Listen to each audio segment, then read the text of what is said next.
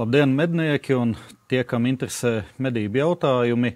Uh, šīs dienas uh, saruna tēma, kā jau Līga pieteica, ir uh, divi jautājumi. Viens ir par izmaiņām medību likumdošanā, ne tikai medību noteikumos, bet arī medību likumā. Un otrs jautājums būs par, par mednieku iesaisti uh, valsts aizsardzības spēju stiprināšanā. Jā, tad sāksim ar, ar pirmo jautājumu par izmaiņām medību, medību likumdošanā. Un kā, kā pirmais jautājums ir medību likums, kuru pieņēma saima pieņēma pagājušajā gadā, un kurš stājās spēkā ar šī gada 1. aprīli, tātad jauno, jauno medību sezonu, stājās spēkā šie medību likuma grozījumi. Nu, šo likuma grozījumu ceļš bija visai garš, un likums tika atvērts tādēļ, ka bija saimnes deputāti, kur uzskatīja, ka likumu var uzlabot un uh, pieņemt kaut kādus grozījumus, kas būtu medniekiem labvēlīgi. Kopumā darbs pie šo noteikumu, ne noteikumu pie šo grozījumu izstrādes ilga vairāk kā divus gadus. No tām sākotnējām iecerēm, varbūt, kas bija likuma grozījumos, beigās to, to, to izmaiņu nebija tik daudz, un uh, tas varbūt nemaz nav slikti. Uh, nu man savā, savā karjerā ir nācies būt klāt, ja nemaldos, pie kādiem pieciem medību likuma grozījumiem, un uh, līdz šim es tā vienmēr teicu, ka ar katru medību likumu grozīšanu uh, medību likums medniekiem kļūst nedaudz sliktāks. Kaut kas, kaut kas likumā tiek, uh, tiek uh, sagrozīts tā, ka medniekiem situācija pasliktinās. Nu, šī ir, es gribētu teikt, pirmā reize, kad, uh, kad uh, medību likums vai medību likuma grozījumi likumu nevis pasliktina, bet uh, es gribētu teikt, ka tādam vidējam ierindas Latvijas medniekam uh, šie grozījumi likumā ir pat pozitīvi. Nu, kādas tad ir galvenās izmaiņas, ko, ko medību likuma grozījumi paredz? Pirmkārt, tiek palielināta platība, no kādas valsts meža dienas reģistrē jaunu medību iecirkni. Ja līdz šim tie bija 200 hektāri, uh, tad šobrīd šī platība ir pacelt uz 350 hektāriem, ja medību iecirkni reģistrē zemes īpašnieks, vai 1000 hektāriem tādā gadījumā, ja jaunu medību iecirkni reģistrē īpašnieku uh, grupa, uh, atvainojas, ja to reģistrē medību tiesību lietotājs.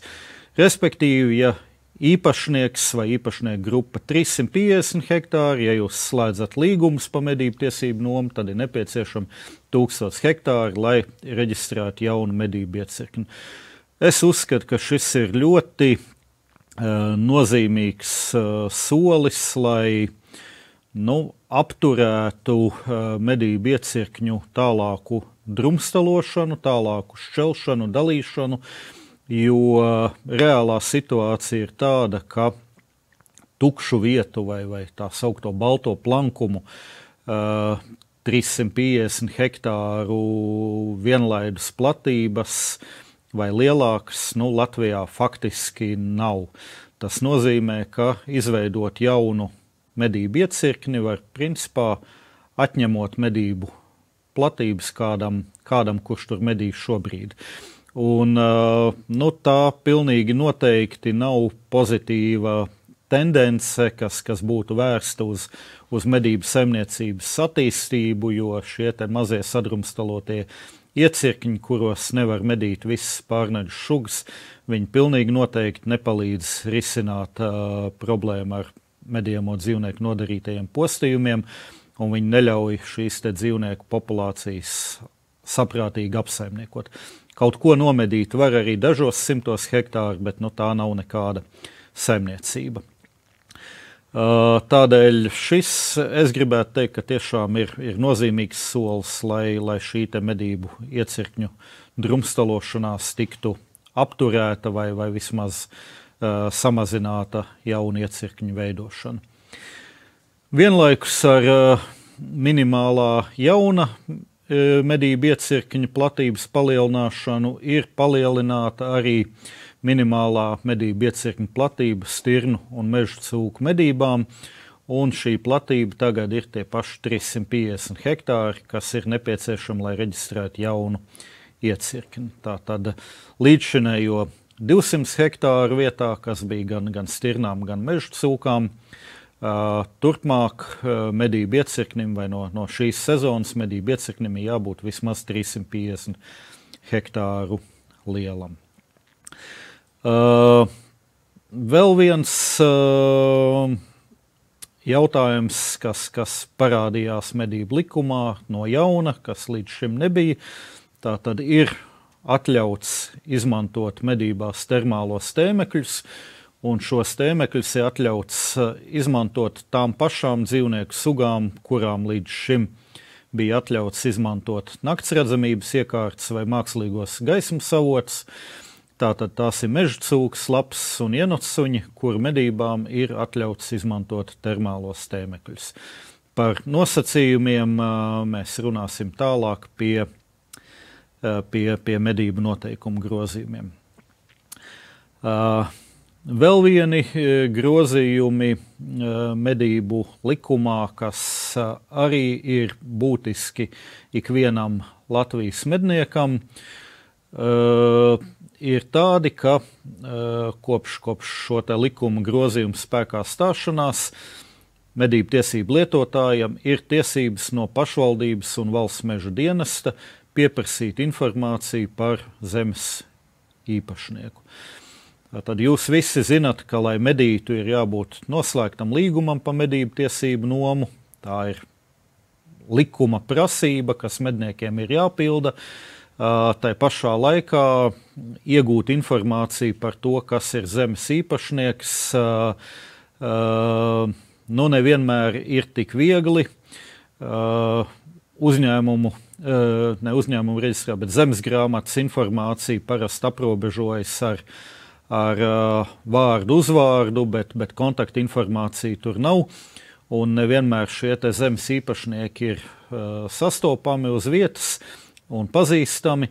Tādēļ jā, punkts, ka medniekam ir tiesības no pašvaldības un meža dienas pieprasīt informāciju par zemes īpašnieku, varētu ievērojami atvieglot medību tiesību nomas līgumu noslēgšanu vai vismaz uh, atrast un sakontaktēties ar zemes īpašnieku, lai runātu par šo līgumu noslēgšanu. Uh, tā kā šāds precedents jau bija meža likumā, tādēļ arī, arī medību likumā šādu normu izdevās iestrādāt, un manuprāt, tas ir tiešām pozitīvs solis.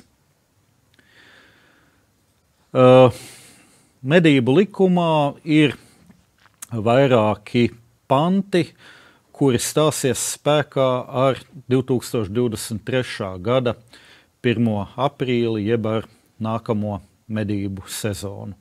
Kas tad šie ir pa pantiem un ko viņi paredz? Pirmkārt, tas ir pants, kas nosaka, ka sadarbības līgums starp medību lietotājiem, jeb koplīgums, kā, kā to tautā sauc, būs spēkā tikai tad, ja būs noslēgta rakstiska vienošanās par ārējām robežām, kas iesniegta un reģistrēta valsts meža dienestā. Tātad tie medību klubi, kolektīvi, medību tiesību lietotāji, kuri šobrīd kādu pārnaģu sugu medī pamatojoties uz sadarbības līgumu, kuriem platība nav pietiekama, lai, lai paši medī, varētu medīt visas sugas, vai arī kuri nākuši pretī kaimiņiem un piekrituši šādu sadarbības līgumu noslēgt. Rēķinieties ar to, ka jums ir laiks līdz nākamās sezonas 1. aprīlim, nākamā gada 1. aprīlim, un šī, šajā laikā jums kā pielikums šim sadarbības līgumam, jeb koplīgumam, ir jānoslēdz arī rakstiski vienošanās par ārējām robežām. Es pieļauju, ka no meža, valsts meža dienesta tuvākā laikā nāks kādi norādījumi, kādā, kādā formā šādas vienošanās ir slēdzamas, vai tas ir kartogrāfiskais materiāls, kurā ir ievilkta robeža, un, un uh, abas uh, vai visas līgumslēdzēju puses ir parakstījušās, jeb tas ir kaut kāds robežu apraksts, par to vēl šobrīd droši vien, notiek, uh, notiek diskusija un tas tiek precizēts. Bet uh, medniekiem, medību tiesību lietotājiem es aicinu negaidīt, bet sākt jau runāt ar kaimiņu medību iecirkņiem un uh, nu, šo te robežu vilkt uz papīra, uz kartes. Ja tas vēl nav izdarīts, tad sākat to darīt laicīgi, jo es pieļauju, ka tas var neiet tik ātri un paņemt kaut kādu laiku. It sevišķi tajos gadījumos, kad sadarbības līgums ir noslēgts nevis tikai starp diviem klubiem, bet starp pieciem, astoņiem vai desmit medību iecirkņiem. Latvijā ir arī šādi precedenti, ir pat, pat sadarbības līgumi, kuros ir vairāk kā desmit medību iecirkņi iekļauti.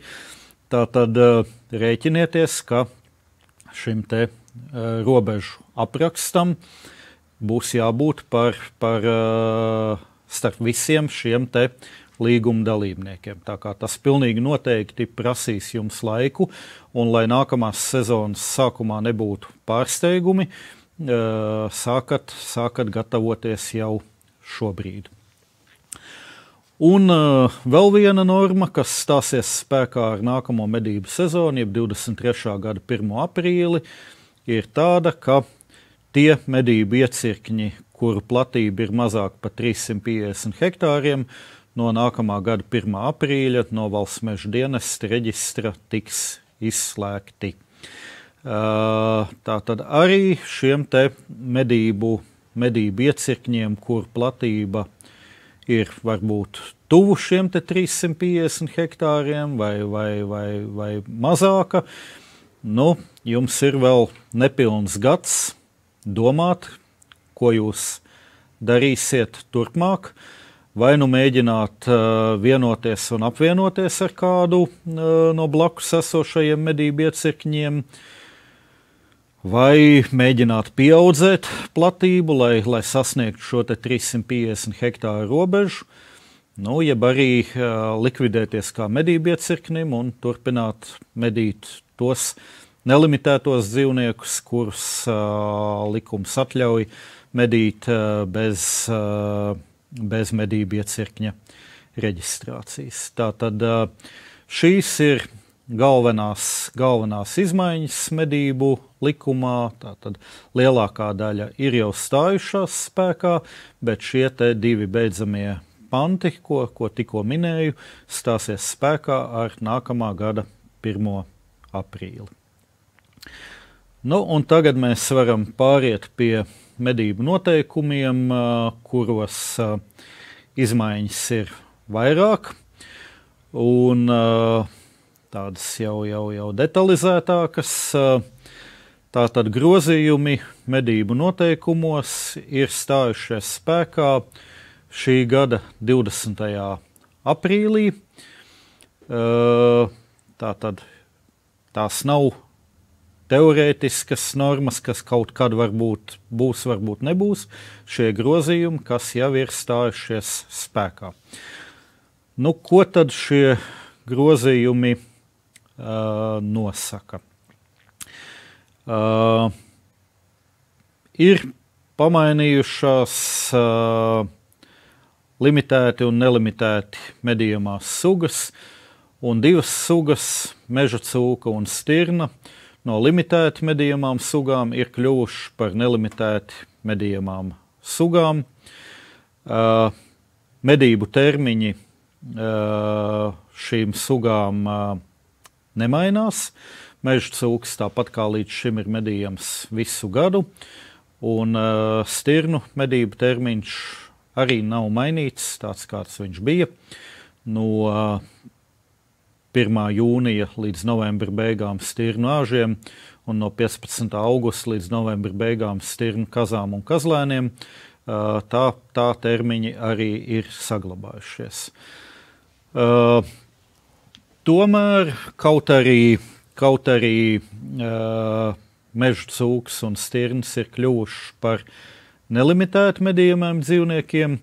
Tas nenozīmē, ka šīs sugas būtu, nu, ja tā var izteikties, bebra vai lapsas statusā, kuras katrs zemes īpašnieks var, var uz savas zemes medīt. Nē, lai medītu meža cūkus un stirnas, to joprojām drīkst darīt tikai reģistrētos medību iecirkņos, kuru platība nav mazāka par 350 hektāriem, vai ir sadarbības līgums, kas ļauj šīs pieļauj šo sugu medīšanu. Tā tad nelimitēti, bet iecirkņos, kuru platība ir 350 hektāri vai lielāka. Tā ir atšķirība no pārējām nelimitēti medījumām sugām, kurām medību iecirknis vai, vai minimālā platība nav nepieciešama. Uh, meža cūku medībās joprojām ir jāizmanto valsts meža dienesta izsniegtie marķieri, jeb savilcēji, kā, kā tos tautā dēvē. Uh, tas ir saistīts ar uh, paraugu nodošanu Āfrikas cūkumēru kontrolē. Uh, jūs ziniet, ka no jebkuras nomedītās meža cūkas ir jāņem asins paraugi un tie ir jāiesniedz uh, pārtiks veterināriem dienestam, ja bioram šo te analīžu veikšanai. Šī kārtība nemainās, un lai varētu izsekot šo te paraugu ņemšanu, iesniegšanu un, un tajā gadījumā, ja ir konstatēts pozitīvs Āfrikas sūkmēra gadījums, lai varētu nodrošināt nomedītā dzīvnieka izņemšanu un likvidēšanu. Tādēļ ir saglabāti šie te uh, valsts meža dienas izsniegtie marķieri jeb savilcēji. Marķieris valsts meža dienas izsniedz bez maksas medību tiesību lietotājiem, tā tad nav, nav jāuztraucās par to, ka, ka viņi varētu nepietikt vai, vai pa to tiktu kasēta kaut kāda samaksa, tad uz, uz iesnieguma pamata valsts meža dienas izsniedz noteiktu skaitu marķierus, un pēc tam, ja, ja tie ir nomedīti, tad uh, nepieciešamības gadījumā izsniedz uh, papildus skaitu. Uh, es esmu saskāries ar jautājumiem, kādēļ uh, kādēļ tiek izsniegts kaut kāds noteikts skaits marķieru, nevis, nevis tik, cik, tik, cik mednieki gribētu vai, vai vēlētos. Atbilde ir ļoti vienkārša. Pirmkārt, šie savilcēji kaut ko maksā. Viņa izgatavošana nav par velti, tas, tas maksā. Un līdz ar to, lai, lai bezjēdzīgi netērētu budžeta līdzekļus, un neizsniegtu kaut kādu nu, pār, pārmērīgi lielu skaitu šo marķieru, tad, tad šis skaits tiek ierobežots. Otrakārt, arī mednieki ir dažādi, un starp medniekiem uh, ir cilvēki ar visai īpatnēju domāšanu vai, vai uztveri.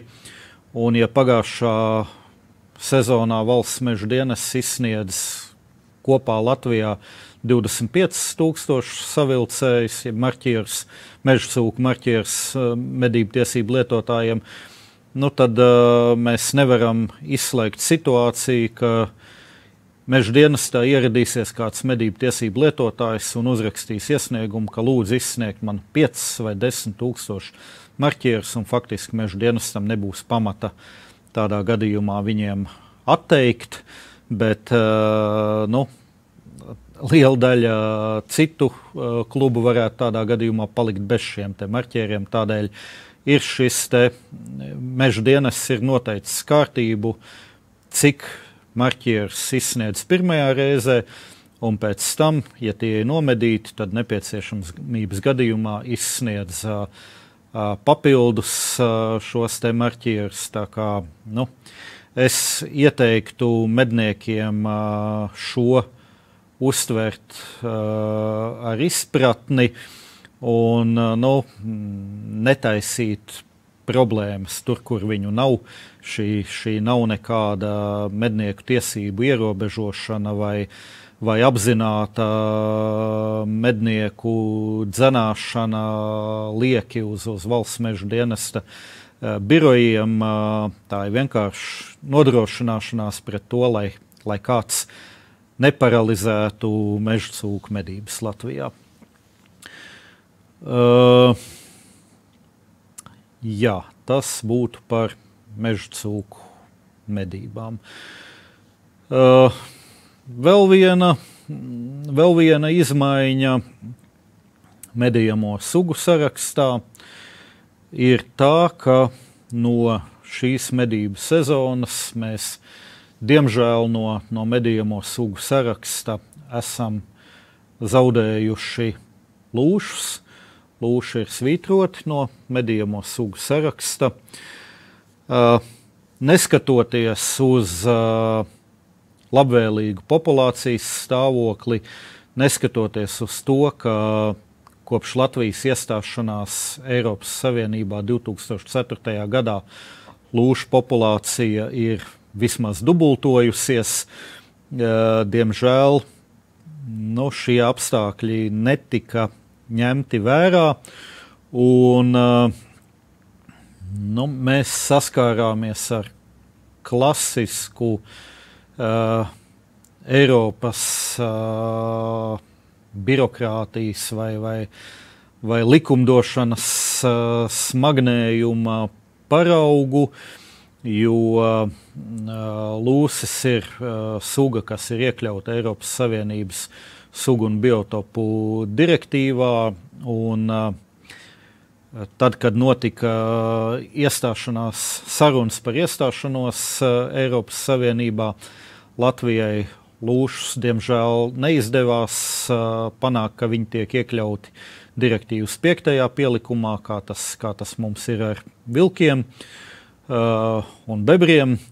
Lūši, lūši palika ceturtajā pielikumā. Uh, Un uh, faktiski šobrīd, uh, 18, faktiski 18 gadus pēc, uh, pēc uh, iestāšanās Eiropas Savienībā, tika, tika norādīts uz uh, šo te, uh, nu, nepilnību, un uh, Lūsi mums nācās izņemt no medījuma sugu saraksta, un viņš tika iekļauts uh, aizsargājamo sugu uh, sarakstā. Tā tad uh, faktiski uh, lūšu medības tiek aizliegtas nevis tādēļ, ka būtu slikts populācijas stāvoklis vai, vai, vai šai laikā viņš būtu pasliktinājies. Nē, tieši otrādi populācijas stāvoklis kopš iestāšanās Eiropas Savienībā ir krietni uzlabojies, bet uh, nu,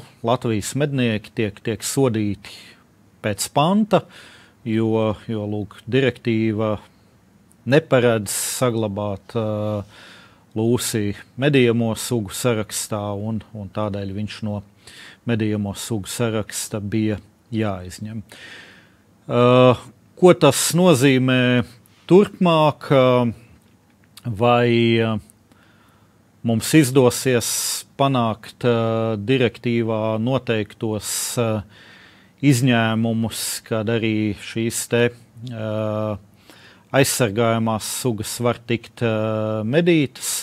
Direktīva paredz atsevišķus izņēmumus, kad, kad to var darīt. Un, uh, teiksim, mūsu netālu no mums esošā valsts Somija to ļoti sekmīgi uh, izmanto. Arī Somijā lūši ir uh, direktīvas 4. pielikumā bet viņi izsniedz medību, tiek izsniegts medību atļaujas un lūši Somijā tiek medīti. Nu, vai, vai Latvijā to izdosies panākt? Nu, šis gads rādīs. Katrā ziņā mēs, Latvijas Mednieku Savienība, vērsīsies pie dabas aizsardzības pārvaldes ar aicinājumu izsniegt noteiktu skaitu medību atļaujas. Nu, kā, kā, mums, kā mums veiksies, to, to dzīve rādīs. Bet šis tiešām nu, manā uztverē ir. ir nozīmīgs zaudējums medniecībai Latvijā. Un, es gribētu teikt, ka arī informācija, ko mēs turpmāk iegūsim par lūšiem Latvijā, pilnīgi noteikti būs daudzkārt mazāka un daudz, daudz nabadzīgāka. Nekā tie dati, ko par, par šīs sugas populācijas stāvokli līdz šim deva mednieki, fiksējot lūšu klātbūtnes pierādījumus dabā, fotografējot pēdas, viņu atstātās citas pazīmes, iesūtot uh, meža fotokameru, bildes un, un video. Tie bija neapgāžami pierādījumi par, par šo dzīvnieku klātbūtni dabā. Nu, tajā brīdī, kad lūsis kļūs par nemedījumu sugu, uh, diemžēl uh, paredzu, ka mednieku iesūtītās informācijas apjoms ļoti būtiski samazināsies. Un, un vai mums uh, tāpat, tāpat teiksim, visi nomedītie dzīvnieki tika piegādāti Mežģinātnes institūtam Silovai, Eh, zinātnisko pētījumu veikšanai arī tas, protams, ka tagad pārtrūks šī datu ķēdīte, kas tika ievākta un kur tiešām bija ļoti daudz kvalitatīvi un vērtīgi dati. Eh, nu, man negribās izteikt sliktas prognozes, bet, bet es esmu diezgan, diezgan pārliecināts, ka, ka šo datu kļūs ievērojami mazāk nekā, nekā viņi bija līdz šim. Tā kā jā, šī ir tāda, nu, es gribētu teikt, juridiska vai birokrātiska neveiksme, ka Latvijai stājoties Eiropas Savienībā neizdevās panākt to, ka lūsis tiek iekļauts direktīvas piektajā pielikumā, nevis, nevis ceturtajā pielikumā, tā kā tas ir. Uh, turpinot uh, runāt par grozījumiem medību noteikumos, ir vesela virkne uh, izmaiņu medību termiņos. Un kā pirmās ir izmaiņas bebru un ondatru medību termiņā. Līdz šim šīs divas sugas bija atļauts medīt no 15. jūlija līdz 15. aprīlim. Savukārt jaunie medību noteikumu grozījumi paredz, ka medījot meliorācijas sistēmās, bebrs un ondatrs ir atļauts medīt līdz 30. aprīlim. Tā tad kas, kas jāņem vērā medniekiem, kuri vēlas šo iespēju izmantot, medīt, medīt bebrus un ondatrs divas nedēļas ilgāk nekā tas bija atļauts līdz šim. Jums ir jāpārliecinās par to, kuras ūdens tilpes jūsu medību iecirknī ir meliorācijas sistēmas un kuras, ir, kuras tādas nav. Un to var izdarīt uh, meliorācijas sistēmu valsts, valsts reģistrā. Iejot uh, šajā, šajā reģistrā, jūs, uh, jūs uh, redzat visas uh, savā medību iecirknī esošās ūdens tilpes, un viņas ir klasificētas pēc to pielietojumu veida, un tur jūs varat redzēt, kuras skaitās meliorācijas sistēmas un kuras tādas nav. Tā tad par meliorācijas grāvjiem, kas ir mežā, tur faktiski šaubu nav par mazajiem uh, lauku meliorācijas grāviem. Arī faktiski šaubu, šaubu nav. Bet, uh, ja tas ir kaut kāds uh, liels novadgrāvis vai, vai, uh, vai, vai, vai kaut kas cits, tad, tad pārliecinieties, vai tā ir bagarēta upīte, kur skaitās kā, kā valsts nozīmes meliorācijas sistēma, bet uh, nu, nav atļautas uh, bebru medīšana no 15. aprīļa līdz 30. aprīlim. Uh, normālās upēs, ezeros, dīķos, kaut kādos, uh, nu, nezinu, uh, slapjumos, be, dīķos, kas, kas nav meliorācijas sistēmas uzpludinājums. Tātad pārliecinieties, lai, lai, lai neiznāk pārpratumi, jo upēs un ezeros šajā, šajā laikā bebru medības nav atļautas. Kādēļ, kādēļ bija nepieciešams šis divu nedēļu sezonas pagarinājums. Nu, galvenokārt tādēļ, ka mm, klimatiskie apstākļi vai laika apstākļi visā Latvijā nav vienādi, un arī šis pavasars parādīja to, ka aprīļa sākumā, teiksim, kurzemē un zemgalē sniegs un ledus sen jau bija nokusis. Uh, Savukārt vidzemē un, un latgalē. Daudz vietā vēl bija pārdesmit centimetrus bieza sniega kārta ar kārtīgu sērsnu, un, un visas meliorācijas sistēmas, grāvi, dīķi vēl bija klāti ar biezu leduskārtu, līdz ar to nekāda, nekāda medīšana nebija iespējama, un tas termiņš, kurā, kurā bebrs varēja medīt, bija, bija pavisam īss. Tādēļ tiek dota šī iespēja meliorācijas sistēmās medīt divas nedēļas ilgāk. Es gan aicinātu medniekus uh, nepaļauties un, un nekoncentrēties tikai uz šo pagarinājumu pavasarī, bet uh, uzsākt bebru medīšanu laicīgi, tad, kad tas ir atļauts, no 15. jūlija. Un, uh, meliorācijas sistēmās šajā laikā ļoti sekmīgi bebrs var medīt. Ūdens līmenis ir, ir zems, ir daudz vieglāk, uh, ūdens ir silts, ir daudz vieglāk uh, nolaist uh, ūdens līmeni un, un bebrs, bebrs izmedīt, nekā, nekā to darīt uh, pavasarī, kad, kad faktiski ir iespējama tikai medīšana ar šaušanu vai, vai uh, vai lamatām. Un arī nepārāk viegli, jo ūdens līmenis ir augsts. Tā kā nepaļaujieties tikai uz pavasari, negaidiet tikai pavasari. Tur, kur ir problēmas ar postījumiem, medības ir jāsāk, jāsāk laicīgi jau vasaras otrajā pusē, rudenī, tad, kad tas ir atļauts. Diemžēl nereti nākas saskarties ar situāciju, kad, kad vienīgie bebri, ko kādā medību iecirknī nomedī, ir, eh, tiek nomedīti pavasarī, aprīlī. Tā kā tā nebūtu pareiza un, un atbalstāma medību prakse.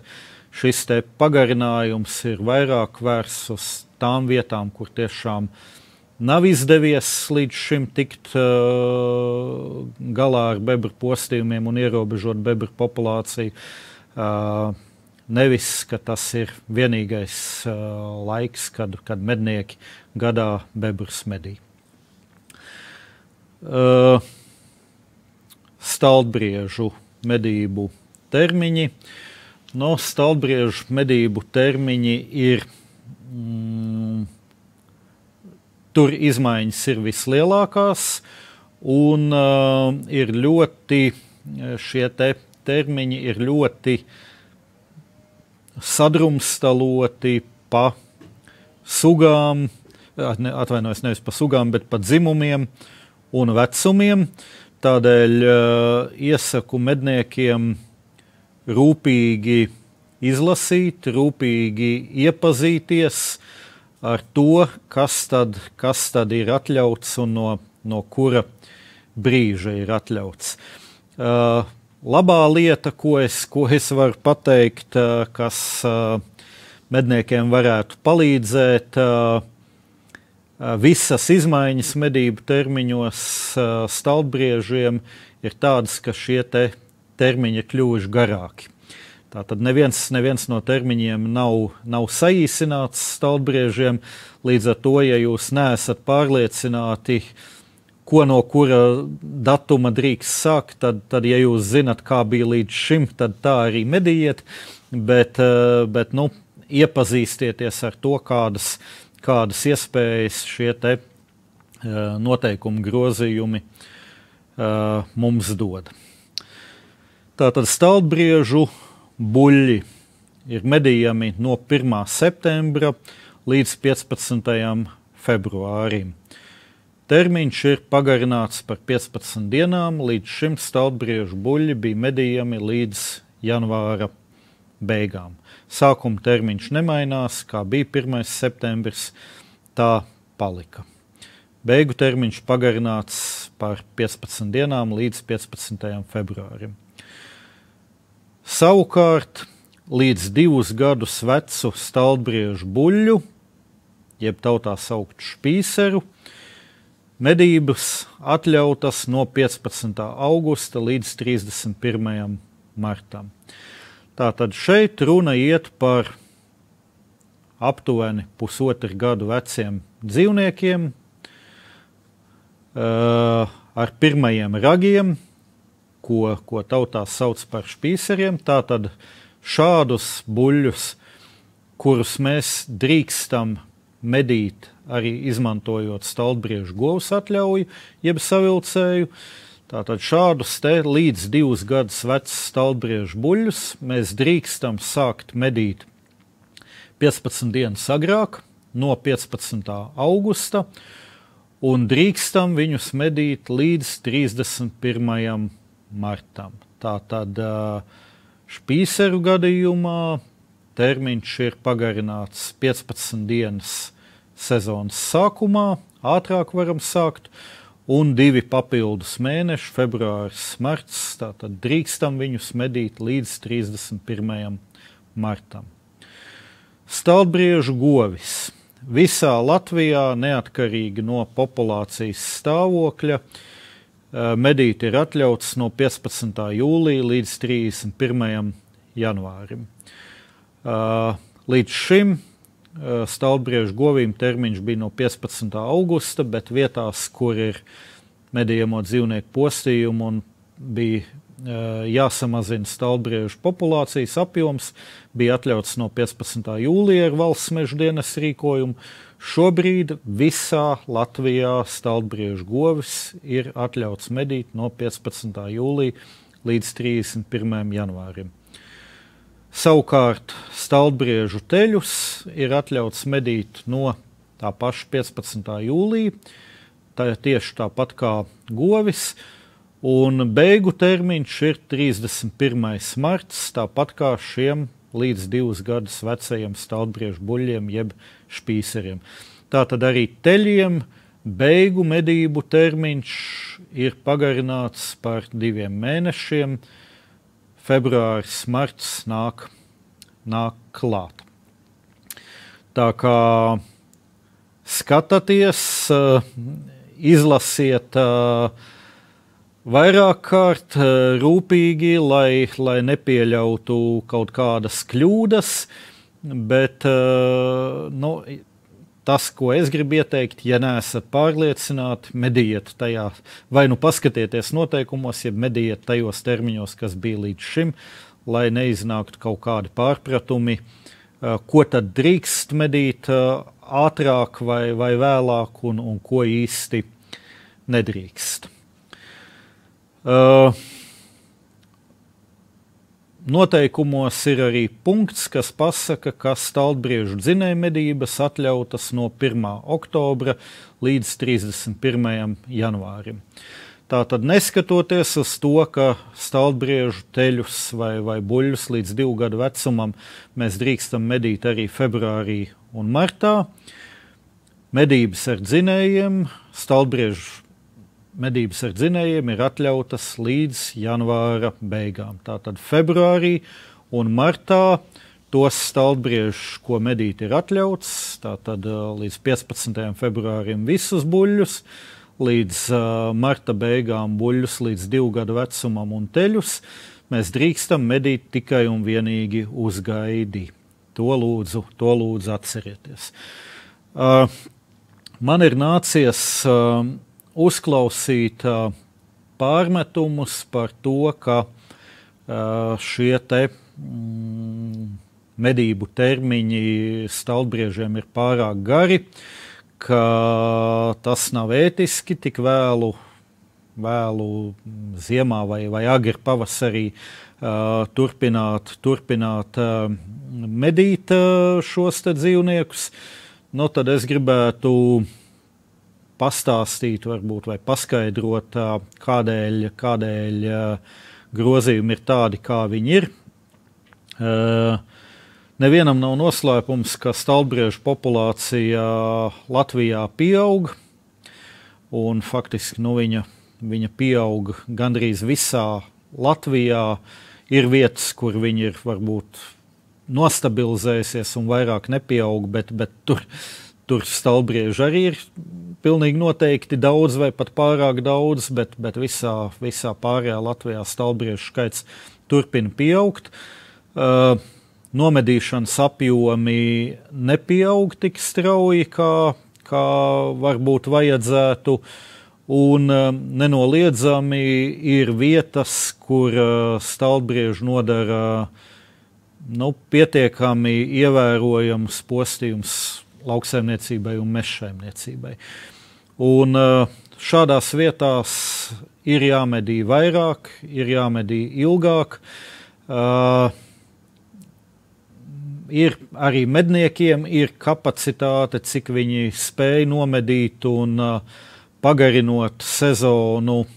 Nu, ir, ir pieņēmums, ka, ka mednieki varbūt aizbrauks kādu reizi vairāk uz mežu un, un nomedīs kaut ko vairāk nekā tajā gadījumā, ja sezona būtu īsāka. Vai tas tā būs, nu, to, to dzīve, dzīve rādīs. Bet uh, uh, nu, lauksaimnieku un, un mežsaimnieku uzstādījums bija tāds, ka ir jāļauj, jādod iespēja medniekiem medīt vairāk, medīt ilgāk. Un uh, viens no priekšlikumiem bija pagarināt stalbriežu sezonu visiem stalbriežiem līdz februāra beigām, atļaut medības, tā izskaitā medības ar dzinējiem. Nu, uh, es biju kategoriski pret šādu pagarinājumu, jo jau janvāra beigās uh, stalbriežu govīm grūsnība ir, ir tādā pakāpē, ka šie embriji ir, ir izteikti redzami. Uh, govis ir lielas, apaļas un, un trenkāt viņas pa mežu ar, ar suņiem, ar dzinējiem. Pat tad, ja viņas nenomedīja, bet vienkārši dzenāt pa mežu, nu, nav, nav ētiski. Uh, februārī daļa stalbriežu buļļu jau met no stragus. Līdz ar to medībās ar dzinējiem var būt apgrūtināta uh, dzimuma noteikšana, saprast, kas tas ir, būlis vai govs, kas, kas tur kaut kur uh, uh, mežā, mežā ir. Uh, Līdz ar to visu stalbriežu medīšana līdz februāra beigām, tā ir skaitā ar dzinējiem, mednieku organizācijām, nu, galīgi nešķita pieņemams piedāvājums. Un uh, diskutējot ar mežsaimniekiem un lauksaimniekiem, tika panākts kompromiss, ka mēs atļaujam uh, stalbriežu teļu uh, un, un buļļu līdz pusotra gada vecumam, medības līdz marta beigām uz gaidi, jo nu, teļi stalbrieži pirmajā dzīves gadā reprodukcijā nepiedalās, riestā nepiedalās. Tā tad teļi nebūs grūsni. Jaunie stalbriežu buļļi ragus met krietni vēlāk, marta beigās, aprīlī, kādreiz pat, pat maijā.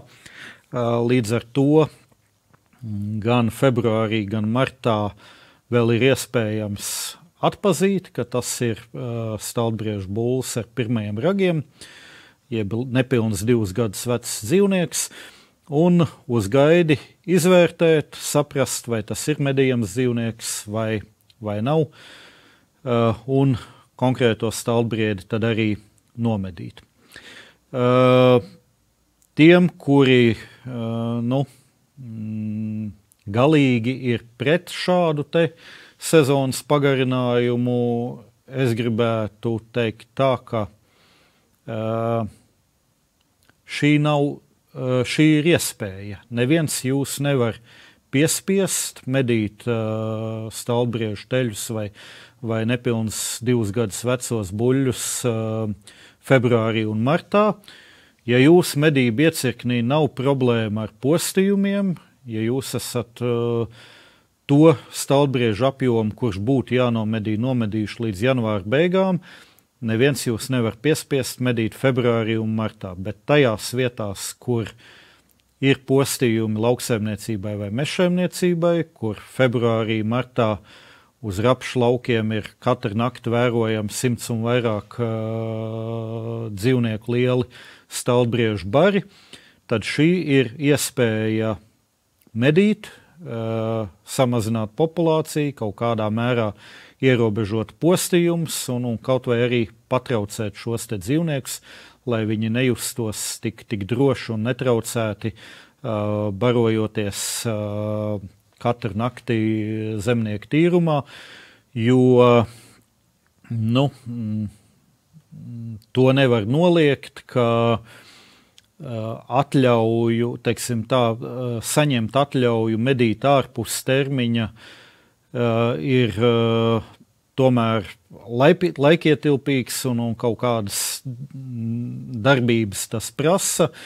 Ne katrs mednieks vai ne katrs zemes īpašnieks ir gatavs iet šai birokrātijai cauri. Nu, tad šajā gadījumā medību noteikumi šādu iespēju medīt dod un mednieki paši var izvērtēt, vai viņiem tas ir nepieciešams vai nav. Tā, tas būtu par stalbriežu medību termiņu izmaiņām. Nu, lūk, tās tad arī ir, tās tad arī ir izmaiņas medību noteikumos, kas skar medījumās sugas un medību termiņus. Uh, tālāk uh, par termālajiem tēmēkļiem.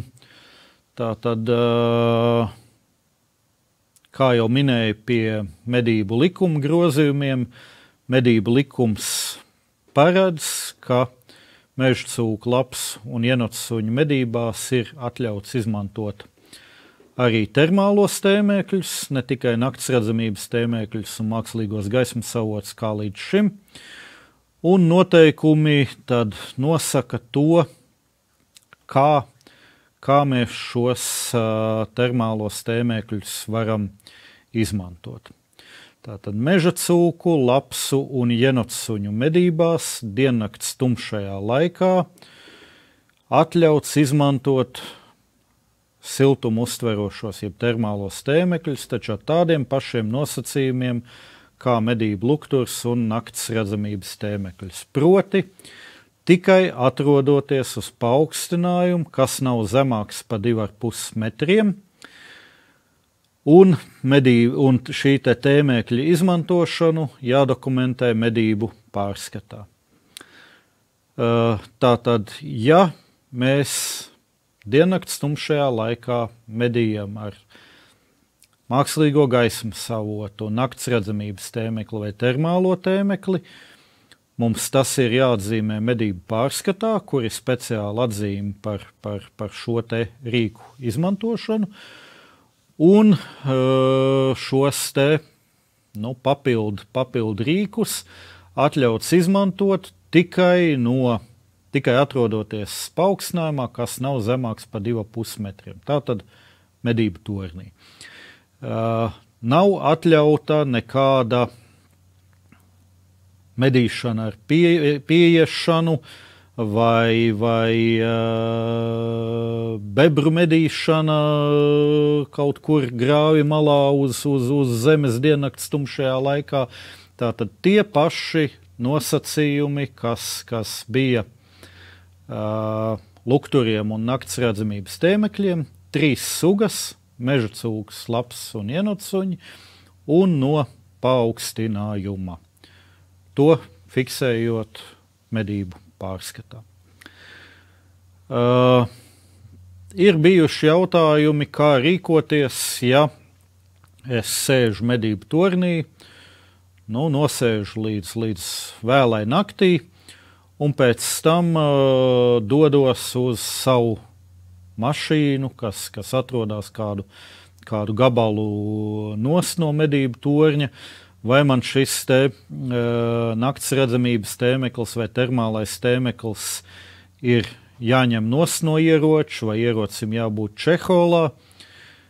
Uh, nē, Uh, ir uh, šis te tēmēklis var pār, palikt uz ieroča, un ierocim nav obligāti jābūt čeholā, bet ir jāievēro nosacījums, ka pārvietojoties diennakts tumšajā laikā, ierocim ar termālo tēmekli jābūt, un ne tikai termālo, bet arī naktsredzamības tēmekli vai mākslīgo gaismu savotu, jābūt izlādētam, ja vien netiek pārbaudīts šāviena rezultāts vai izsekots ievainotais medījums. Ja jūs pārbaudiet šāvienu rezultātus vai izsekojat ievainoto medījumu, tad jums ierocis drīkst būt pielādēts, bet jums ir jābūt pastāvīgi ieslēgtam gaismas avotam, respektīvi ieslēgtam lukturītim. Ja inspektors noķers jūs uh, diennakts tumšajā laikā uz zemes ar pielādētu ieroci, būs protokols. Un, ja jūs,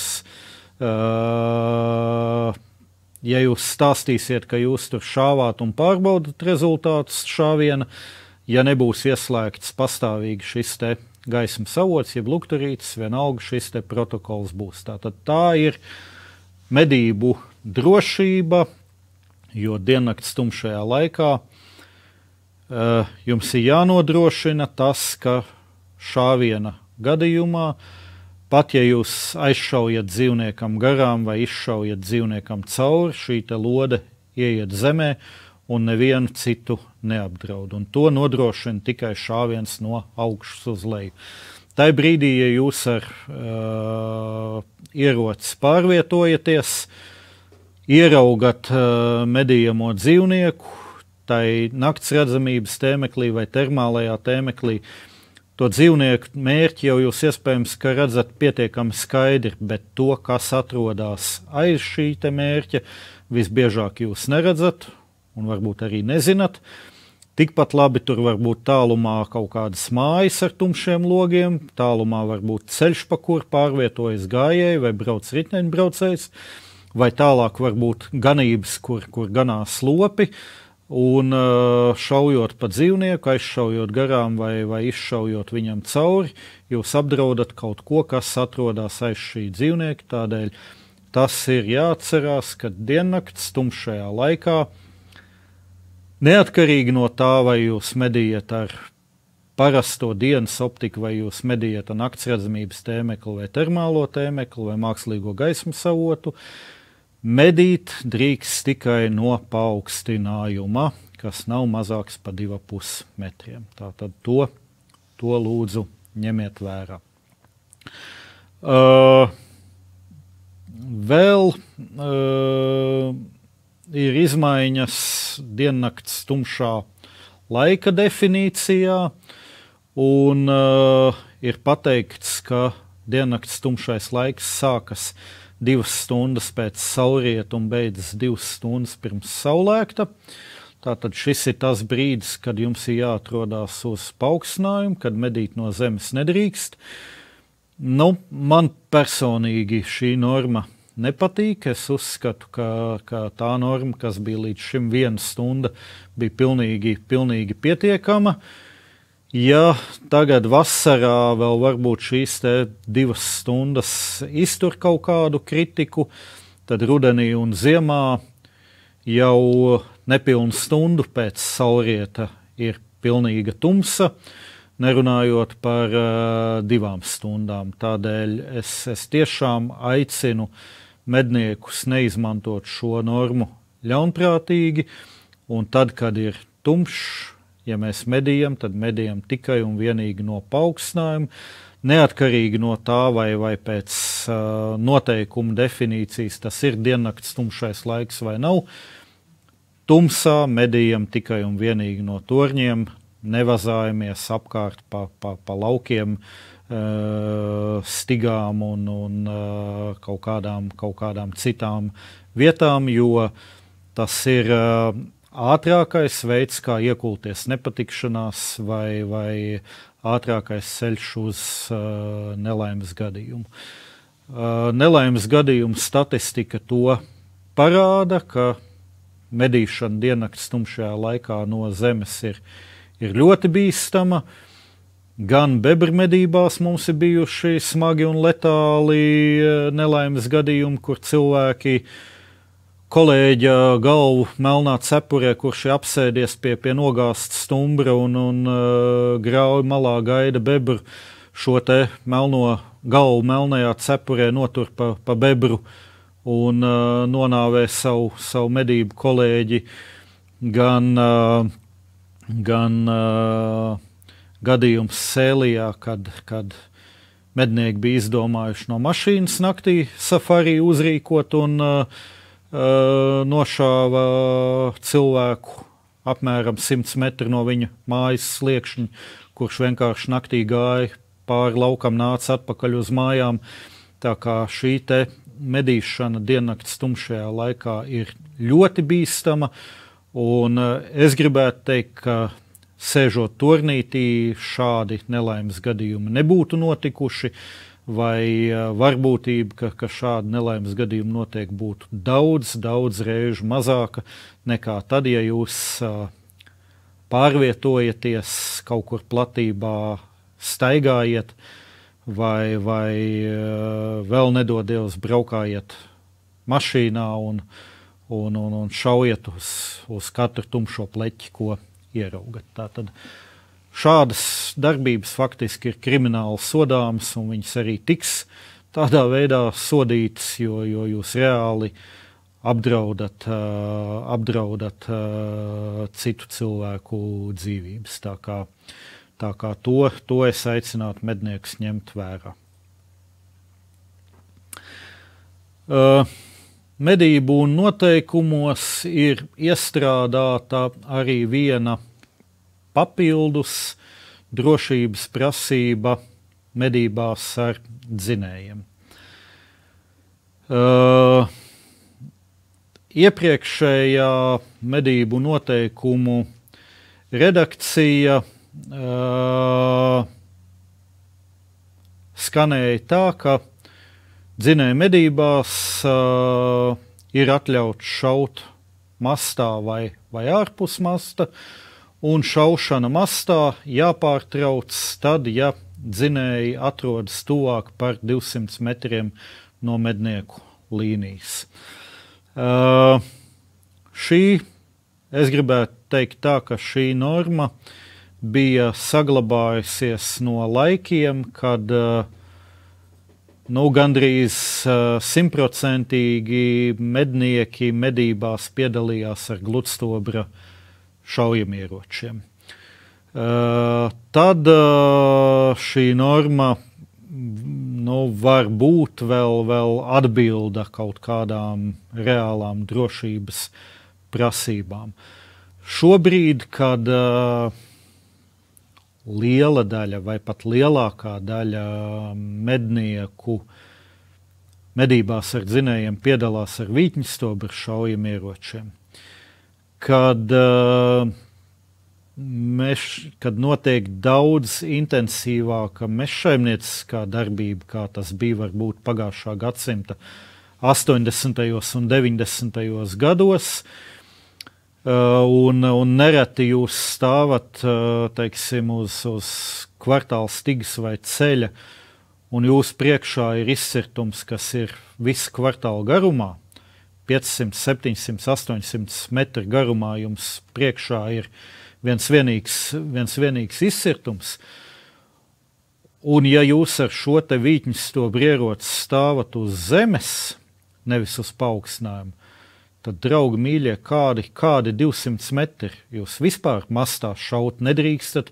Jūs drīkstat šaut tikai uz aizmuguri, lai neapdraudētu uh, dzinējus vai, vai, vai, vai, vai kādu, kas atrodas varbūt vispār tam kvartālam otrā pusē un iet pa, iet pa stigu vai pa ceļu. Tā tad šobrīd noteikumu redakcija ir precizēta.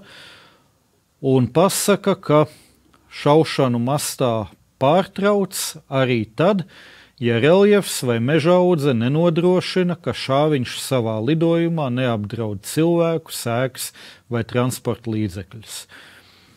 Tātad, ja dzinēja medību mastā jums priekšā ir liela atklāta platība, piemēram, izsirtums, un pastāv risks, ka šāviens tajā kādu var apdraudēt, tad šaut mastā Vispār jūs nedrīkstat, jūs varat šaut tikai ārpus masta. Un to lūdzu ņemat vērā. Uh, veids, kā uh, jūs varat uh, ievērojami palielināt medību drošību un uh, vienlaikus arī uh, uzlabot medību rezultātus, uh, ir veidojot medību infrastruktūru, taisot uh, tā sauktos dzinējumedību, jeb stāvtornīšus, neliels paaugstinājums, podests, kur pilnīgi pietiek, ja, ja grīda ir aptuveni pusotra metra augstumā, nemaz viņu nevajag īpaši augstāku. Ar šādu paaugstinājumu pietiek, lai arī šaujot pa alni vai pa stalbriedi, jūs raidītu šāvienu no augšas uz leju. Pretējā gadījumā, ja jūs stāvat uz zemes un jūs izdarat šāvienu pa alni vai pa stalbriedi, jums faktiski izdarat šāvienu cilvēku krūšu augstumā. Un aizšaujot garām medījumam vai izšaujot viņam cauri, jūs uh, apdraudat uh, visu to, kas atrodas aiz šī medījumā dzīvnieka, vēl ļoti lielā distancē, attālumā. Tā tad skatāmies reljefu, vai, vai aiz medījuma ir kaut kāds augurs, kurš nodrošina to, ka lode neaizlidos tālāk, vai tā ir bieza pieaugušu koku mežaudze, tad, tad mēs varam izdarīt šāvienu mastā. Ja jums priekšā ir līdzens izsirtums vai, vai vai meža jaunaudze, kura var izskatīties bieza un necaurredzama, bet faktiski uh, lodei tur nekādu šķēršļu nav. Tur ir tikai vienīgi skujas un sīki zariņi, kas lodes lidojumu faktiski netraucē. Vai, vai pat uh, iedod lodei rikošetu un, un izmaina šo lodes lidojumu virzienu, tādā veidā padarot viņu pilnīgi neparedzējumu. Tā tad jaunaudze lodei nav nekāds šķērslis, viņa pat drīzāk var radīt papildus riskus, eh, izraisot uh, uh, lodes lidojumu rikošetu. Tādēļ gribam medīt ar vītņu ieročiem medībās ar dzinējiem, būvējam šos te turnīšus, dzinēju medību podests, izmantojam kaut kādus dabiskus reliefu paaugstinājumus, lai nodrošinātu to, ka uh, mūsu šāviens neapdraud kaut ko, kas atrodas aiz medījumā dzīvnieka. Tā tad, uh, ja jūs medījat ar gludstobrieroci, tas risks ir mazāks, jo gludstobra lodes, teiksim, uh, Šāviens ir uh, bīstams daudz, daudz mazākā distancē, kaut arī tā distance ir lielāka par šiem 200 metriem. Bet uh, it īpaši medījot ar vītņstobu ieročiem, esam ļoti, ļoti piesardzīgi un, uh, un, un, un ņemam, ņemam vērā tos, tos apstākļus, kas ir konkrētajā, konkrētajā jūsu, jūsu stāvvietā. Uh, dažus gadus atpakaļ uh, Kurzemē bija nelaimes gadījums medībās, kur mednieks šaujot pa stalbriežiem, kas zinēja medībās, skrēja pa tādu nelielu, nelielu pauguriņu. Viņi priekšā izšāva vairākas reizes pa briežiem. Es neatceros, vai, vai tajā gadījumā dzīvniekiem trāpīja vai netrāpīja, bet tas nebūtu tik svarīgi. Bet uh, sašāva rokā cilvēku, kas atradās aptuveni 400 metri aiz šī pauguriņa, Un uh, medniekam nebija ne mazākā nojausma, ka tur atrodas kāds, kāds cilvēks. Tādēļ es vēlreiz gribu uzsvērt, uh, mūsdienu vītņu stobri ieroči ir ārkārtīgi bīstami. Un uh, ir uh, jāskatās, jādomā, un jums ir uh, jāņem vērā, kur uh, var palikt lode pēc šāviena, ja viņa ja jūs aizšaujat garām medījumam, vai, vai tā lode izlido medījumam cauri. Arī tādi gadījumi ir. Mūsdienu vītņas to ieroči ir gana jaudīgi, un lode arī izējot cauri medījumam, var apdraudēt pēc tam gan, gan cilvēkus, gan medību suņus, kas var atrasties aiz medījuma. Arī kādas četras vai piecas gadus atpakaļ, precīzi nepateikšu, kur zemē bija nelaimes gadījums medībās,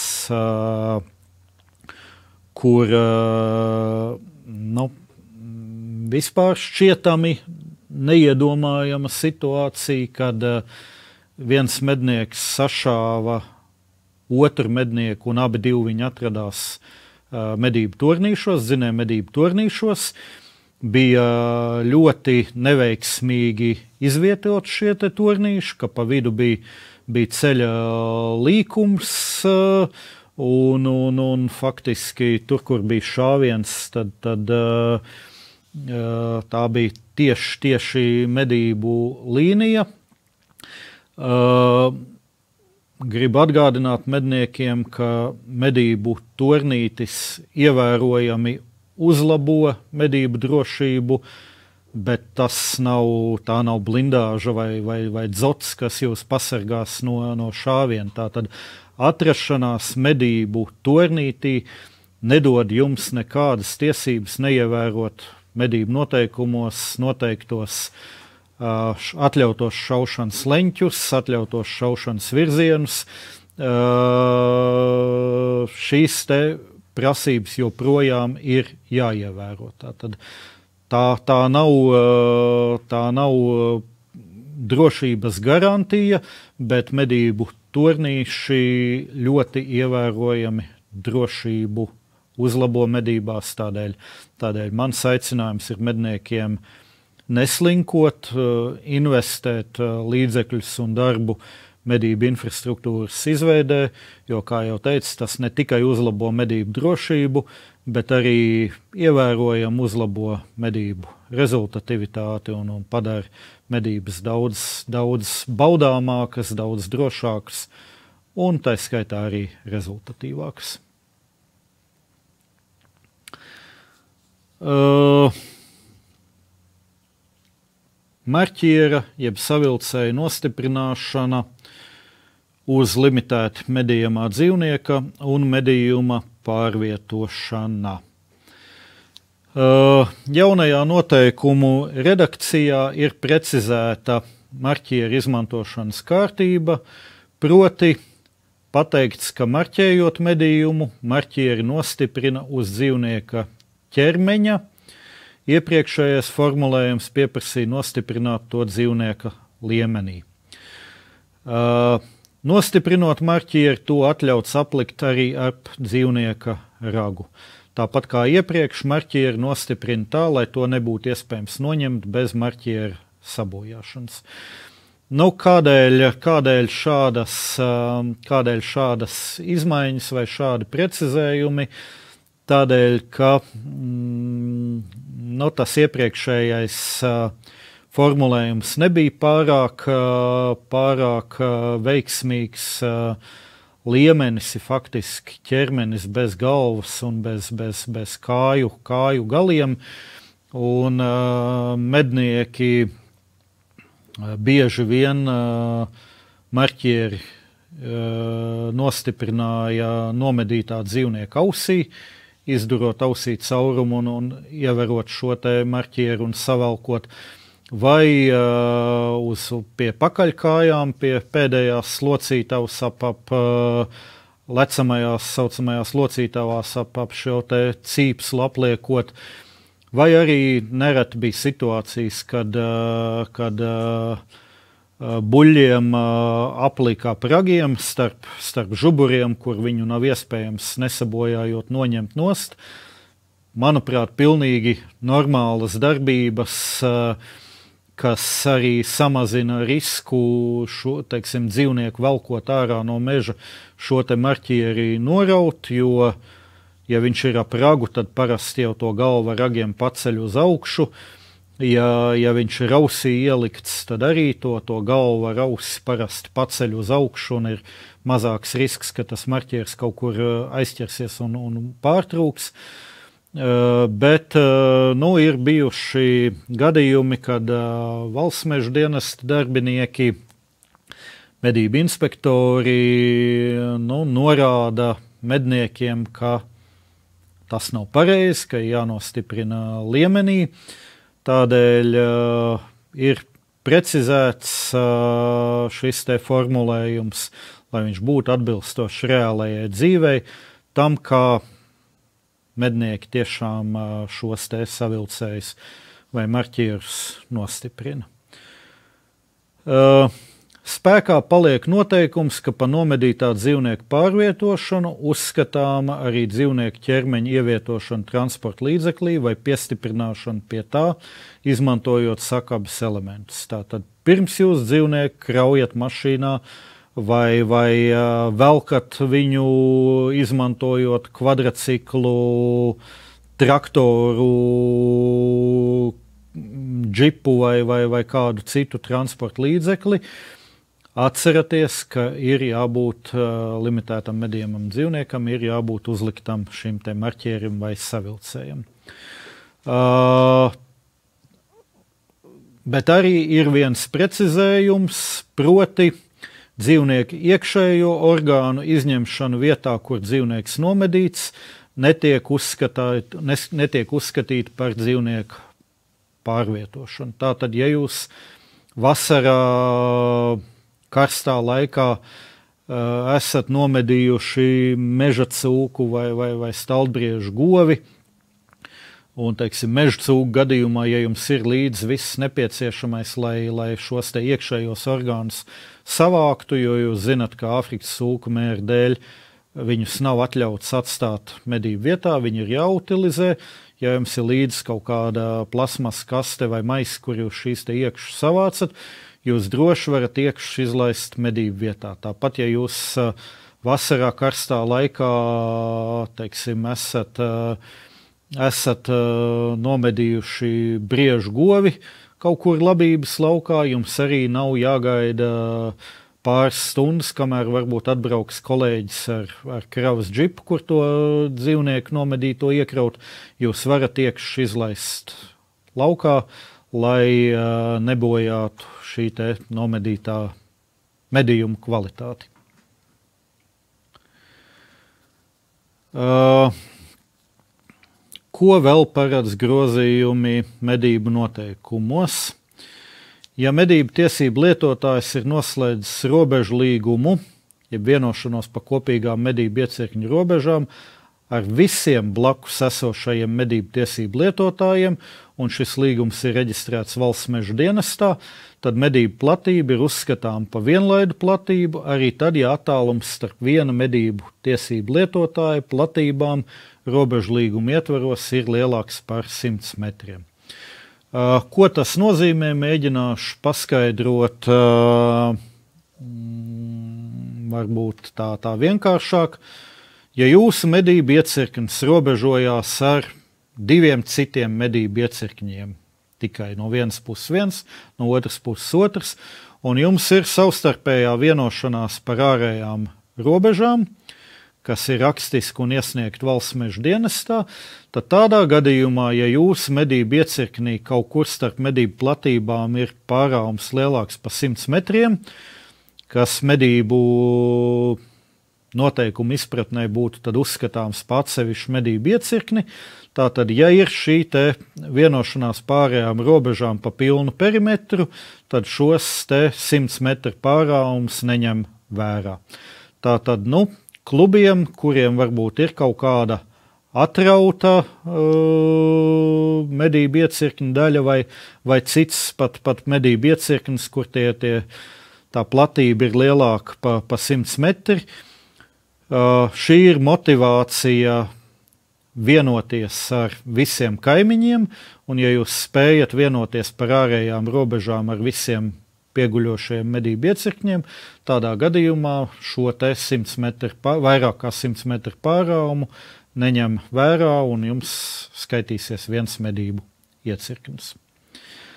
Tā, tad tā arī ir uh, pozitīva, pozitīva tendence, kas veicina uh, medību tiesību lietotāju, medību kolektīvu savstarpēju vienošanos par ārējām robežām, nevis kaut kādu karošanu, ķīļu dzīšanu, nemitīgi kaut kāda uh,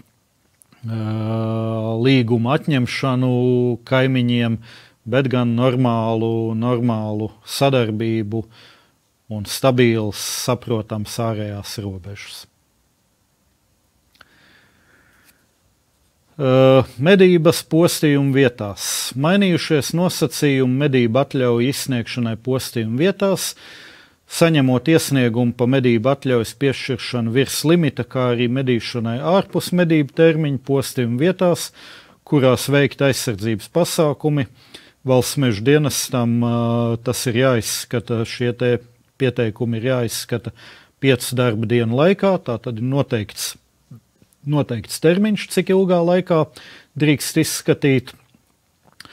Un, eh, ja postījuma vietā veikti aizsardzības pasākumi, tad virslimita medību atļaujas valsts meža dienas var izsniegt visā medību iecirknī, bet, ja aizsardzības pasākumi nav veikti, tad tikai konkrētajā postījuma vietā. Tā tad arī loģiska prasība, nu, ja, ja kaut kā, ja ir postījumi, tā platība ir aizsargāta un ir jāmedī vairāk, nu tad, tad nebūtu pamata prasīt, lai medītai aizsargātajā teritorijā, jo, protams, ka tur dzīvnieki, dzīvnieki mazāk uzturēsies. Savukārt, ja, ja aizsardzības pasākumi nav veikti, tad, tad uh, medīt uz postījumu pamata drīkst tikai tajā konkrētajā postījuma vietā, nevis visā medību iecirknī. Jā, paldies par uzmanību. Tie bija mm, nu, jautājumi, kuriem es gribēju pievērst uzmanību. Tās galvenās, galvenās izmaiņas gan medību likumā, gan medību noteikumos, kas skar medniekus, un, kā jau teicu, ir jau stājušās spēkā, un visiem mums ir jāpilda.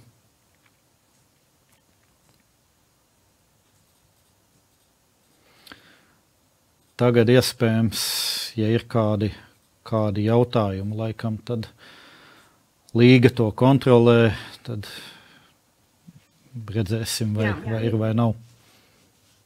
Jā, mums ir jautājumi. Es nolasīšu. Tātad pirmais jautājums. Kāds bija pamatojums špīseriem noteikt sākumu no 15. augusta, nevis, piemēram, līdzīgi kā govis teļus no 15. jūlija? Uh, Atbilde ir uh, vienkārša. Tā ir, tā ir dzīvnieku bioloģija. Uh, šajā laikā uh, šiem špīseriem ragi vēl turpina augt.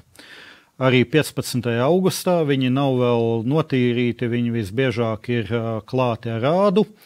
Bet 15. augustā jau ir diezgan labi saprotams, vai tas būs perspektīvas dzīvnieks vai, vai nebūs. Uh, Stalbriežu teļi nedzimst vienā laikā, viņi dzimst no, no maija līdz pat jūlijam. Un uh, vēlu dzimušam teļam, kurš ir piedzimis iepriekšējā gada jūlijā, tai, tai nākamā gada augusta sākumā vai jūlijā beigās tie radziņi var būt pavisam maziņi vēl un radīt uh, kļūdainu priekšstatu par to, ka tas ir nekvalitatīvs dzīvnieks, kurš būtu jānomedī. Patiesībā viņš ir uh, absolūti normāls uh, vai varbūt pat kvalitatīvs uh, špīsers, kuram tie ragi vēl nav vienkārši paspējuši izaugt, jo viņš ir pa pāris mēnešiem jaunāks kā, kā tas špīsers, kurš ir piedzimis maijā. Bet uh, šajās te no, no 15. augusta jau ir diezgan droši redzams, vai tas, ir, vai tas būs kvalitatīvs dzīvnieks vai nē. Uh, Un uh, kādēļ ir dotas šīs divas, uh, divas papildus nedēļas? Uh, tādēļ, ka vasarā stalbriežu nodara postījums lauksaimniekiem, tie ir labības lauki, tie ir apšlauki, un viņi ir jāmedī, bet augustā vai jūlija beigās, nu, es personīgi uzskatu, ka vienīgais, ko no stalbriežiem var tajā laikā medīt, tās ir tās augtās pērnās govis, iepriekšējā gada gotiņas, kurām vēl nav teļu. Jo stalbriežu teļš jūlijā beigās, augusta sākumā ir nu, faktiski buka izmērā, un šādu dzīvnieku medīt, nu, manuprāt, vienkārši nav, nav prātīgi. Ja, ja tiešām ir jāsamazina dzīvnieku skaits, uh, ok, bet uh, nekādu medību produkciju mēs no viņa tikpat kā neiegūstam. Savukārt, uh, nomedījot govi, kurai ir teļš, tas teļš vai nu aizies bojā, vai, vai iespējams, ka nīkuļos un, un būs uh, augšanā un attīstībā atpalicis dzīvnieks. Līdz ar to mans viedoklis - jūlija beigas, augusta pirmā puse No stalbriežiem ir medījums tikai pērnās govis. Nevienmēr viņas ir tik daudz, līdz tam augusta vidum daļa no viņām jau ir nomedīta. Un uh, bieži vien ir tāda situācija, ka augusta beigās mednieki sēž pie, pie, teiksim, pie labības lauka vai, vai, vai rapšlauka. Tur ganās briežu bariņš, govis ar teļiem, varbūt kāds špīserīts, neviena pērnā govs tur nav, vai varbūt medniekam neizdodas atšifrēt, kura ir šī pērnā govs, kura nav. Savukārt kaut kādu neperspektīvu jauno bullēnu špīserīti ar ragiem pusausu garumā vai nepilnu ausu garumā viņš, viņš redz un varētu, varētu mierīgi nomedīt. Tādēļ šīs divas papildus nedēļas tiek dotas, jo septembrī, tad, kad sākās stalbriežu riests, Nu, Baura laikā būs noteikti daudz mednieku, kuri negribēs, žargonā sakot, čakarēties ar kaut kādu švaku spīseri, kur tomēr baura laikā parasti jau mednieki cenšas medīt trofeju dzīvnieku. Tādēļ šīs divas papildus nedēļas ir iespējas šos nekvalitatīvos uh, spīserus paņemt no populācijas laukā. Tādā veidā gan samazinot postījumus lauksaimniekiem, gan arī nu, veicot uh, selektīvās medības un paņemot no populācijas ārā to, ko būtu jāpaņem. Paldies par atbildi. Mums ir vēl jautājumi. Tātad nākošais jautājums ar kādu marķieri noraksta līdz divus gadus vecus stalbriežu buļļus? Vai nu stalbriežu buļļu marķieris vai stalbriežu govs marķieris. Tātad līdz divus gadus vecu bulli drīkst medīt, izmantojot arī govs marķieri. To arī paredz medību noteikumi. Uh, bet uh, tas ir bullis, par to šaubu nav. Tā tad arī, arī uh, buļļa, buļļa marķieri var izmantot pilnīgi likumīgi. Un es teiksim, savā medību klubā es esmu ieviesis tādu praksi, ka ja kāds nomedīs, teiksim, labas kvalitātes uh, stalbriežu bulli līdz divu gadu vecumam, jeb tā saucamo spīseri, uh, kurš, kuru nevajadzētu medīt, kurš būtu saudzējams. Tad tādā gadījumā es pilnīgi noteikti viņam likšu buļļu marķieri, jo nevis, nevis izmantošu govs savilcēju, jo, Jo, manuprāt, nu, kaut kā arī mednieki ir jādisciplinē. Tas, ka šādus dzīvniekus var medīt, izmantojot govs savilcēju, nenozīmē, ka tagad ar, ar, ar govs marķieri var, var klapēt jebkādu arī visperspektīvāko stalbriežu būli. Bet īsā atbildē līdz divus gadus veca buļļa nomedīšanai drīkst izmantot gan stalbriežu buļļa, gan stalbriežu govs marķieri. Paldies! Un nākošais jautājums sapratnei. Kādi ir argumenti, pamatojums nepieciešamībai pildīt medību pārskatu katru reizi lietojot lukturi naktinieku? Uh, kamēr uh, kamēr uh, šie pārskati ir rakstiskā formā un nevienam nav jāiesniedz uh, īsti jau tāda loģiska pamatojuma, nav, jo faktiski tā ir. Tā ir nekontrolējama prasība, bet tajā brīdī, kad, kad šīs lietas tiks fiksētas aplikācijā Mednes, tad tā arī būs reāli pārbaudāma lieta. Uh, bet uh, tas, ko es medniekiem gribētu teikt, uh, atcerieties to, ka uh, šie ir izņēmuma gadījumi. Uh, gan nakts redzamības tēmēkļi, gan uh, termālie tēmekļi, gan uh, uh, mākslīgie gaismas avoti, tie ir izņēmumi dažām sugām, un tas ir izņēmums no vispārējās kārtības. Ir ļoti maz valstis Eiropas Savienībā, kurā šādus rīkus drīkst izmantot vispār. Lielākajā daļā Eiropas Savienības dalību valstu šos rīkus vispār nav atļauts izmantot.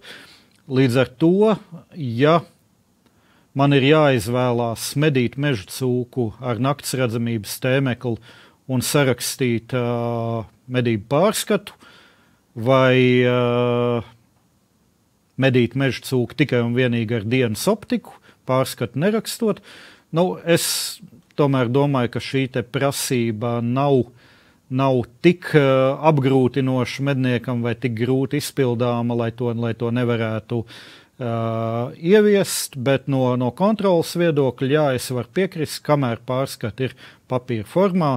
Uh, faktiski kontroli tas neuzlabo. Ar aplikācijas mednes ieviešanu iespējams, ka būs savādāk. Paldies! Um, tad vēl ir jautājums. Mēs vēl varam paspēt dažus jautājumus līdz nākošajai lekcijai, bet uh, pēc tam, pēc abām lekcijām, pēc pirmajām divām, mums būs uh, desmit minūtīšu diskusija. Tad tos, ko es nepaspēju šobrīd izlasīt, tad tos pēc tam ja, zināšanai. Uh, nu jā, tad jautājums, vai ir plānots seminārs par selektīvo stalbriežu medībām pirms stalbriežu sezonas atklāšanai? Paldies! Uh, Ja jautājums ir man, tad uh, mūsu semināriem var sekot līdzi meža konsultāciju pakalpojumu centra mājaslapā, kur tie tiek laicīgi izziņoti. Tāpat arī lauku tīkls.lv var apskatīties. Šobrīd mēs neko tādu plānojuši nesam, bet uh, nu, redzēs. Un, Jāni, ko jūs teiksiet, vai jums varbūt ir plānots kāda semināra par šo? Dināt, jā, tā tad, ja, ja būs interese un vēlme no, no meža konsultāciju pakalpojumu centra, uh, tad laiku atradīšu un varam, varam šādu semināru piedāvāt. Uh, bet uh, arī Latvijas Mednieku Savienība šādas seminārus organizē ar uh, Medību saimniecības attīstības fonda atbalstu. Līdz ar to arī tie ir bezmaksas semināri medniekiem. Un, mēs viņus rīkojam pēc, pēc pieprasījuma. Tā tad pat cik tie ir medību fonda atbalstīti semināri, tad mūsu nosacījums ir, ka jābūt nu, ne mazāk kā 20 dalībniekiem, un uh, mums nav līdzekļu telpu nomai. Tātad tie faktiski nu, ir klātienes semināri. Mēs šādus web seminārus netaisām, bet tie ir klātienes semināri. Tad uh, tiem, kuri vēlas, lai šāds seminārs pie jums notiktu, jums ir jānodrošina telpas un ne mazāk kā 20 klausītāji laicīgi jāsazinās ar mani un uh, atradīsim iespēju šādu semināru sarīkot. Jā, paldies. Tad mums ir viens garš komentārs, izlasīšu. un pārējos tad attiecīgi pēc tam diskusiju laikā. Tātad norma par dzīvnieku pārvietošanu no nomedīšanas vietas nav iespējams izpildīt, kad zinē medību laikā tiek nomedīti vairāki dzīvnieki dažādās masta pusēs. Realtātē dzīvnieki tiek vilkti laukā un marķieri uzlikti tikai pie ceļa pirms iecelšanas kravas kastē, jo marķieri atrodas pie medību vadītāja. Kā to citādi var atrisināt? Ideju īpaši nav. Veiksmīgs būtu precizējums, ka, bū, ka drīkst pārvietot dzinēju medību laikā masta ietvaros. Es domāju, ka varbūt šo jautājumu precīzāk varēs atbildēt nākamais lektors Walters Lūsis, kurš, kurš pārstāv valsts meža dienestu un līdz ar to arī uh, kontrolētājus. Uh, Man nav zināms gadījums, kad būtu meža dienas sastādījis protokolu, ja mednieki dzinēja medību laikā velk, velk dzīvnieku ārā no meža līdz, līdz ceļam, kur gaida, gaida mašīna un medību vadītājs ar, ar šiem te savilcējiem. Uh, Medniekiem es gribētu norādīt vēl vienu lietu. Medību noteikumos ir arī punkts, ka medību vadītājs pārbauda visu šāvienu rezultātus. Tas nozīmē, ka medību vadītājam, principā, vai nu medību vadītājam, vai viņa pilnvarotai personai būtu jāpārbauda katrs šāviens, un, ja ir dzīvnieks nomedīts, tad, tad arī ir iespēja šo te marķieru uzlikt. Un parasti to organizē tā, ka tas, kurš mednieku noliek uz numura, pats paliek tajā mednieku līnijā pēdējais, un nākot nost, viņš arī visus medniekus noņem no, no numuriem, pārbauda šos šāvienu rezultātus, un viņam tad arī tie savilcēji ir līdzi, un viņš šo savilcēju var uzlikt. Uh, pieļauju, ka šo normu atrisinās arī tā pati aplikācija Mednesa, kur ir paredzēts, ka nākotnē limitēto medījamo dzīvnieku atļaujas tiks norakstīts. Tātad šis dzīvnieks, nomedītais dzīvnieks, tiks nofotografēts uh, nomedīšanas vietā un, un informācija par viņu iesniegta. Tā kā tad, tad šie marķieri nebūs vajadzīgi, bet tagad es aicinātu vienkārši nu, tos marķierus, kas ir pietiekamā skaitā, sadalīt tiem medību vadītāju palīgiem, kas nostāda medniekus un ņem viņus no no stāvvietām, un tad arī nebūs problēma šo te marķieru uzlikt.